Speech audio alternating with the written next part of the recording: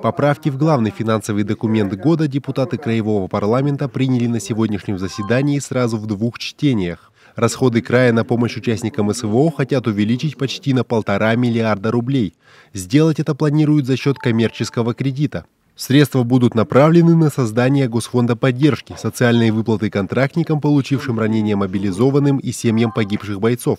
Особое внимание на заседании законодательного собрания уделили отчету деятельности региональной контрольно-счетной палаты.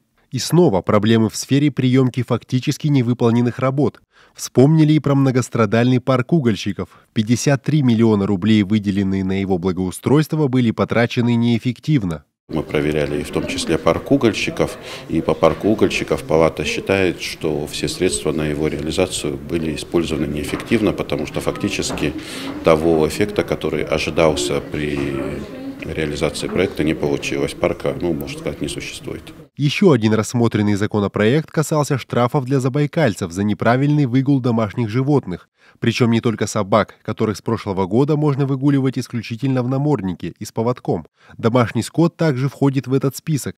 Протоколы о нарушениях будут составлять работники ветеринарной службы и полиция. Если первичное нарушение человек совершает, сначала предусмотрено предупреждение или штраф в размере от 1 тысячи до 2 тысяч рублей. Если э, человек совершает повторное нарушение, то от 2 тысяч до 5 тысяч рублей. Такая санкция будет предусмотрена законом. Могочинский муниципальный округ решением депутатов замкнул первую десятку преобразованных районов Забайкалья. Законопроект успешно прошел сразу два чтения.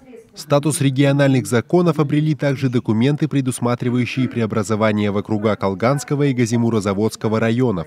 Григорий Анибер, Сергей Миртов, РТК Забайкалье.